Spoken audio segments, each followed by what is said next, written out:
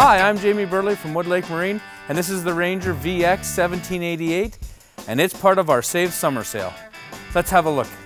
This Ranger aluminum is on a Ranger custom trailer. Seating for six, the 1788 is equipped with a ski pole so you can have fun as well as go fishing.